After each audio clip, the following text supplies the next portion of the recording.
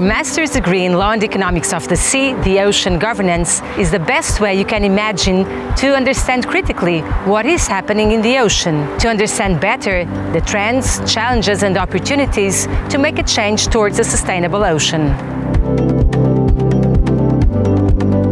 Interdisciplinarity, sustainability, and a holistic approach are our keywords. With us, you will learn the core legal areas mostly related to the ocean, from international law of the sea to environmental and maritime law, but also ocean policies and how to develop and finance a good, sound and sustainable ocean economy.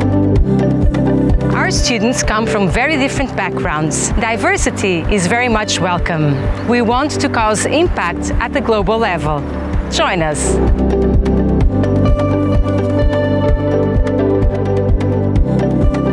Sea has been an important part of progress over the centuries. It remains crucial for the social and economic development of humankind and must continue to play a fundamental role in the distant future.